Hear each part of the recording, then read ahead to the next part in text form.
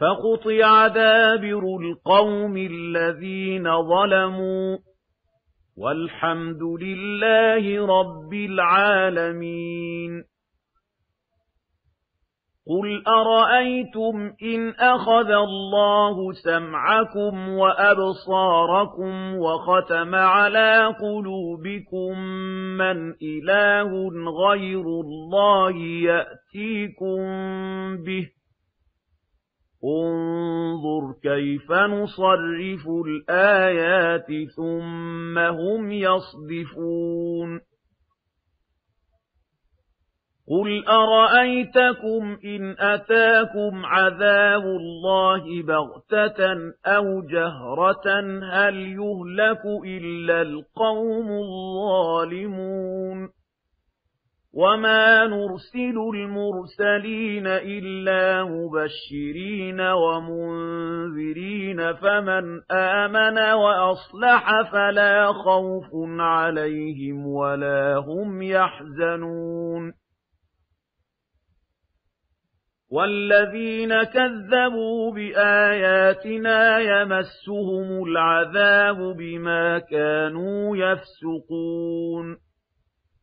قُل لَّا أَقُولُ لَكُمْ عِندِي خَزَائِنُ اللَّهِ وَلَا أَعْلَمُ الْغَيْبَ وَلَا أَقُولُ لَكُمْ إِنِّي مَلَكٌ إِنْ أَتَّبِعُ إِلَّا مَا يُوحَىٰ إِلَيَّ قُلْ هَلْ يَسْتَوِي الْأَعْمَىٰ وَالْبَصِيرُ